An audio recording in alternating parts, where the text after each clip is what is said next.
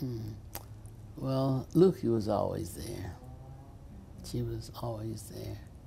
Uh, there were not a lot of women who were really involved. Just for instance, we had a rally right here at Lampton Baptist Church, and we had decided we were going to march to Fourth and Broadway right here.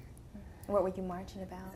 Um, public accommodations and um, in Jefferson County, I believe. And when we got to Fourth and Broadway at four o'clock in the afternoon, we had just told everybody to squat. We held up traffic both ways, Broadway. So you went Street. across the street? No, we right in the intersection. We just squatted right in the intersection. But Luke and I stayed on the periphery because we knew that we had to that they were going to come and lock a lot of the young people up, you know, and they did. So we stayed on the periphery because we had to go to the lawyers to get them out of jail. Mm-hmm. And you mentioned the, the march here uh, in Frankfort. You mentioned going across the street here. What are some other marches across the? Um, you mentioned Selma. Are there other marches that you recall being part of in different states? Yes, um, St. Petersburg, Florida. Uh, in 1968, after Dr. King was assassinated, they had asked uh, A.D. King to come to uh, help them with the sanitation strike in St. Pete.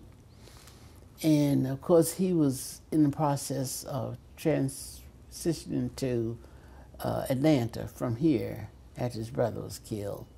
And uh, so, and he, you know, he was still mourning and um, for his brother. So he asked me to go. And so I said, well, okay. And so I uh, took Raoul Cunningham with me because he was always my support, help, you know.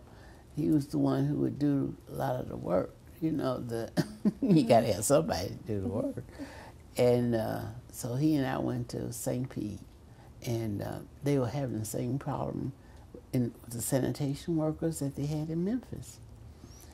And uh, we led the marches uh, in St. Pete for days.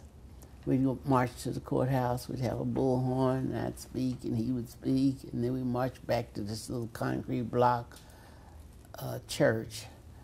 And, um, and of course, he played the piano, and I'd, I'd lead in the Freedom Song Songs Fest, you know.